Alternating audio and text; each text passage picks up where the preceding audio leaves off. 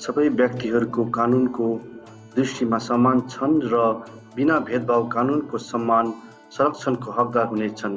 सबैलाई यस घोषणाको उल्लङ्घन गरी गरिएको भेदमान वा त्यस्तो भेदभाव गर्न गरिएको उत्साह विरुद्ध सम्मान संरक्षणको अधिकार छ।